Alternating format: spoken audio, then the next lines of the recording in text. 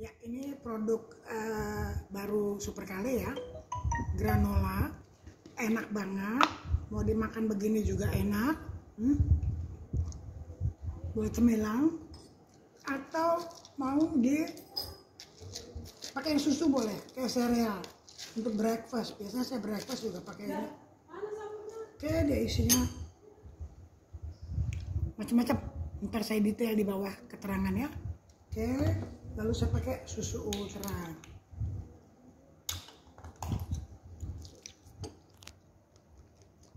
Ini biasanya sarapan pagi saya nih.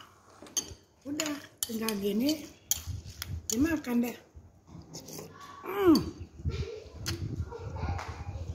Mantap. Murah kok. Ini berat kotor 300 gram, tapi isinya 250 gram. Harganya 100, 100 ribu. Yang mau silakan ibu-ibu granola buat breakfast. Makasih, bye.